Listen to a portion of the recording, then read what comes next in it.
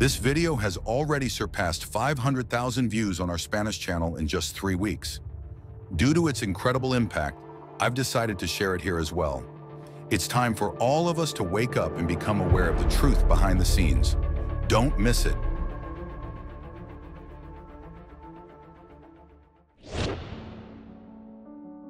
They knew it, and that's why they banned lead solder. Today we'll uncover why manufacturers, backed by multinational corporations and governments, eliminated this material and replaced it with something far worse, lead-free solder. Have you ever wondered why you need to buy a new electronic device or repair it so often? This happens with phones, electronic devices like washing machines, TVs, and worst of all, we're going to start seeing it in all cars, electric or not. They've turned this material into a gold mine for themselves. Do you know what that means? It means they decide when your device should break. My name is Leonardo, and I'm here to prove it all in this video. Stay until the end. I promise it will be worth it. Let's cut straight to the chase. We'll disassemble this device, and I'll show you what's going on.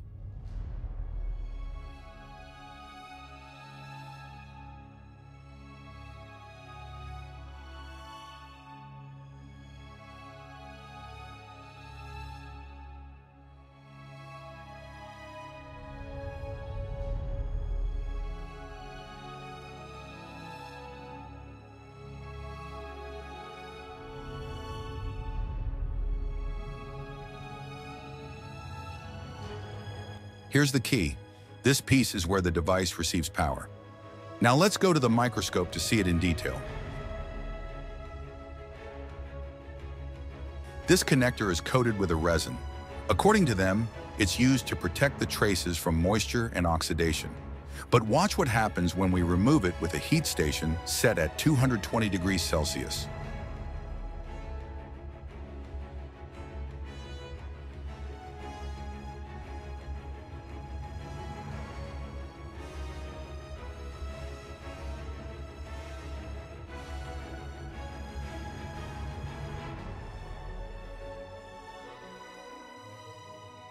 Look closely. All the pins have lost their connection to the subboard. Now tell me, is this the customer's fault? Was it the charger's misuse? Then how do we explain that old Nokia's, Samsung's, or Alcatel's lasted six or seven years without breaking? The same thing will happen with cars. Due to vibrations, electronic parts will break, and official repair shops won't fix anything. They'll replace an entire module and tell you, that will be 5,000 euros. We live in a world full of deceptions. They're forcing us to work just to enrich multinational corporations. Some might argue they removed lead solder for environmental or health reasons. I believe they only care about money, but that's just my opinion. Leave yours in the comments.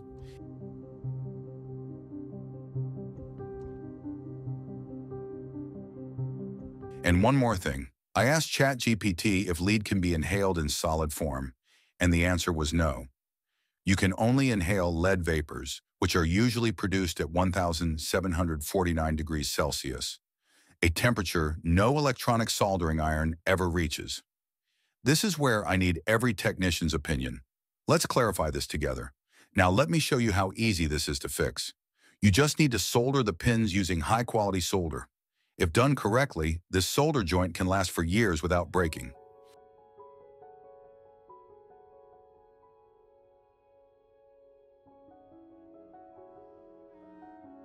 I hope the European Union supports technicians by demanding that manufacturers publish service manuals for devices from day one.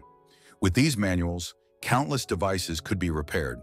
All we need to do is remove the old solder, and for that, we use a copper braid that absorbs the low-quality solder. But here's the truth. With technological advancements, they've fooled us like little children. Society has stopped questioning things, and year after year, we keep throwing money in the trash without even realizing it. What truly pains me is that these people, who claim to have our best interests at heart, are lying straight to our faces. And the worst part is that many believe them. But every day, more people are waking up, seeing reality for what it is, and that hurts them. Because when the truth starts to come to light, their system begins to crumble.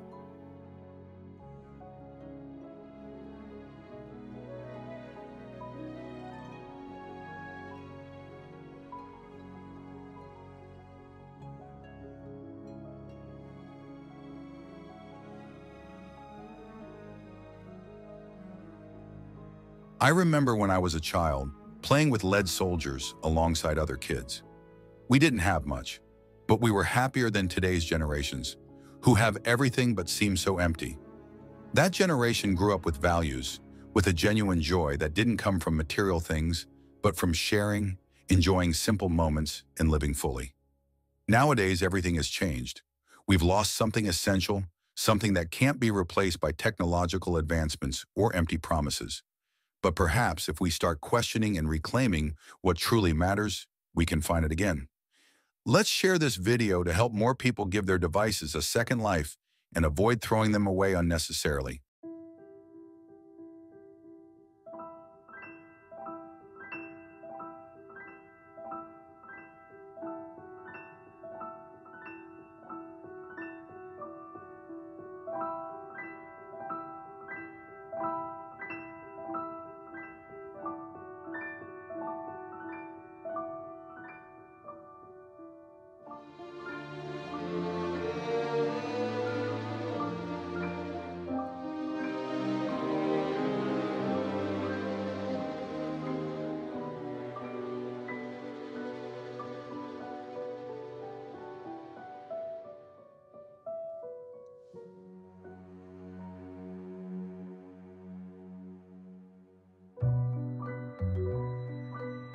See? In less than five minutes, we can repair a device that many would have discarded. We reassemble the device and confirm it's working.